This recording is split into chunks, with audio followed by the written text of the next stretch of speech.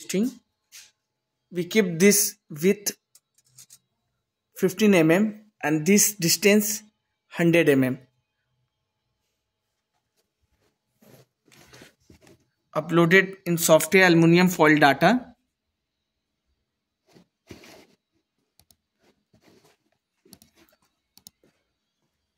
Selected the testing speed 10 mm per minute. Going to start the test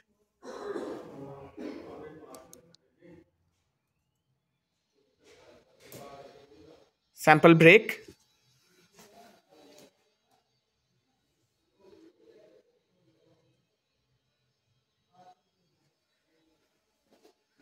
This is the max load which goes. That is 21.539 newton.